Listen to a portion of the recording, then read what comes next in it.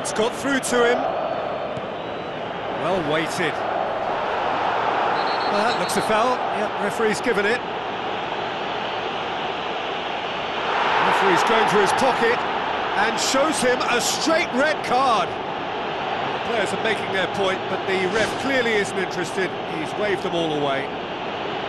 Well, there may be some scope for debate